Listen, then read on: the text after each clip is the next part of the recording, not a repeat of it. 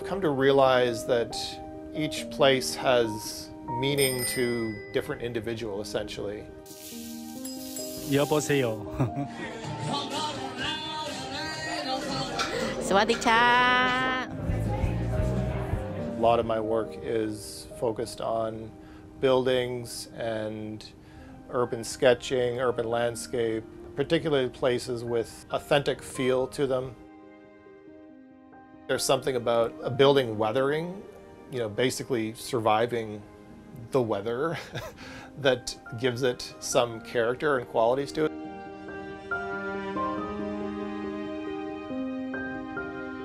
My name is Colin White. I'm an illustrator and artist based out of Ottawa. I've been doing this for over 10 years.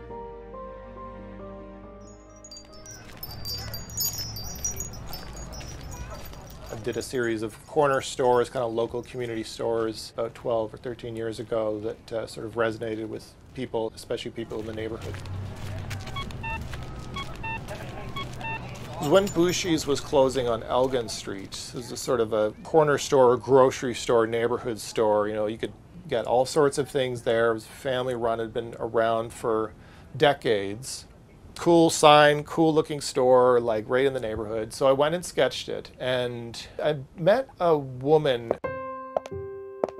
She basically kind of came down to pay tribute that day because when she was growing up on Sundays, her father, they would maybe going to church.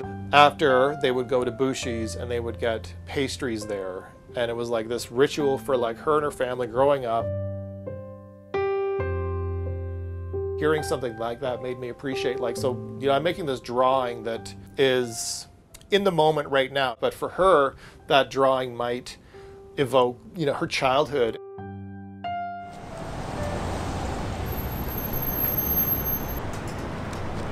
I'm here at the uh, ottawa civic hospital campus.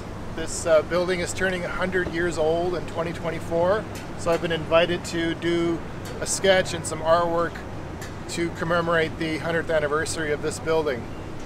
It's the first time I've done something for a hospital or medical uh, facility.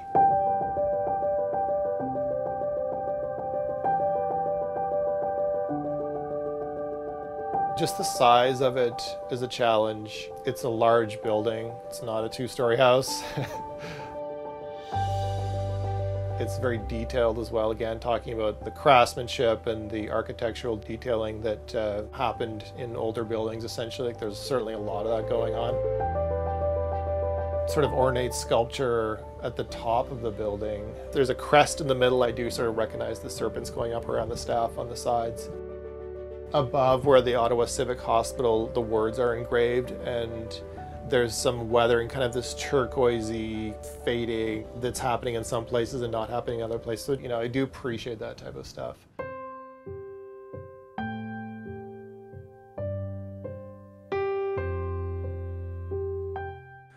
You know, it's very interesting that the Civic Hospital was built in response to the flu pandemic 100 years ago. And here we are, coming out of another pandemic, now paying tribute to this building.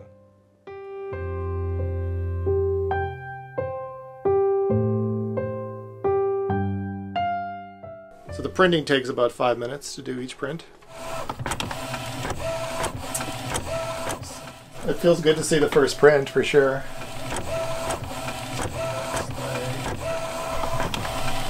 It's certainly a privilege to be working on it and to be capturing a building of historical significance for the city and to be helping preserve that in its own way and helping transition to another era of the Ottawa Hospital.